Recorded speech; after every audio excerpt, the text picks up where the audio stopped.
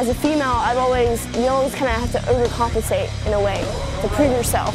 When I'm fighting, typically I try, uh, try to be patient and a lot of what I'm thinking of is what can I do next or what is the opponent giving me that I can use against them. You gotta be quick, but you gotta be able to slow down at the same time and think and not just be in a rush. And then sometimes you go blank. So a lot of it's muscle memory too.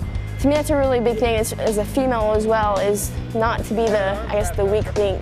So I work up in division for the female engagement team. The female engagement teams, they go, let's say with their, their infantry BCT, they'd go with uh, the infantry commander when, like, let's say they go to a, a meeting with an elder and the females will go and they engage the females to see what the community needs and to not leave out that female portion of the population.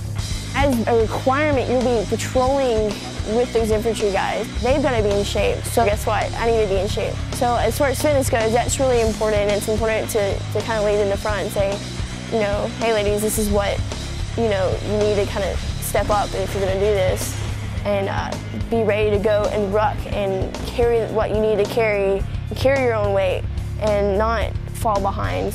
Thinking about what drives me and motivates me the most is to prove to myself that you know, I can run, I can max out this run. I'm not there yet, but it's something that I'm always improving on. And uh, combatives, I know, is one of those great ways to work on your cardio. And it also builds up that confidence level as well.